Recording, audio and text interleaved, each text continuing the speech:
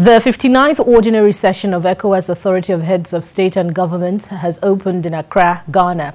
President Muhammadu Buhari and other presidents from other countries in the region, except Mali, is in attendance. Mali was suspended at the extraordinary session which held in Accra in May over the military takeover of government in the country. The situation in Mali is expected to be part of issues to be discussed as the meeting progresses. The authority will be considering ways to ensure the country returns to democracy and the ECOWAS Special Envoy, former President Goodluck Jonathan, will be making a presentation on mediation efforts in Mali. The authority is in this one-day summit will also deliberate on the reports of the 86th ordinary session of the ECOWAS Council of Ministers, which considered memorandum on the post-COVID-19 industry recovery plans 2021 midterm report of the President of ECOWAS Commission and the ongoing institutional reforms.